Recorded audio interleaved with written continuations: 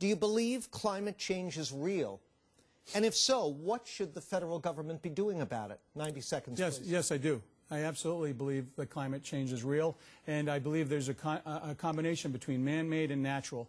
That being said, one of the biggest things we can do is get an energy policy, and we don't have one. Wind, solar, nuclear, hydro, geothermal, coal, siting, permitting, conservation. A true all-the-above approach, as I have. Um, Professor Warren has a none-of-the-above approach. She's in favor of wind and solar. She's against the Keystone Pipeline, which will help create union, all you union guys listening out there, she's denying union jobs and non-union jobs, making sure we can get more of our energy on the world market to stabilize those costs that you're paying at the pump.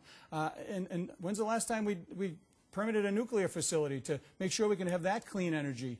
Uh, I could go on and on, but right now the role is, is actually a balancing role to find that balance, John, because you can't just have one or this or that. She's in favor of putting wind turbines in the middle of uh, uh, of, a, of a, our greatest treasure down in the Nantucket Sound. I, I like Pres, uh, Senator Kennedy before me, make, believe that's, that's not right because those ratepayers are going to pay a tremendous amount more in their daily costs, and that's not right.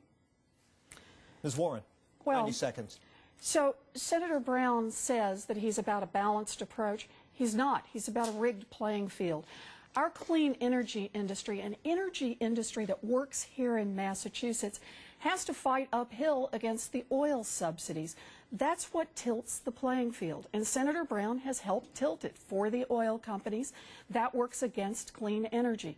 The Keystone Pipeline, look, that's not going to produce nearly as many jobs as if we, if we invested that same money in clean energy. That's where you produce real jobs, and that's where Massachusetts has a real advantage.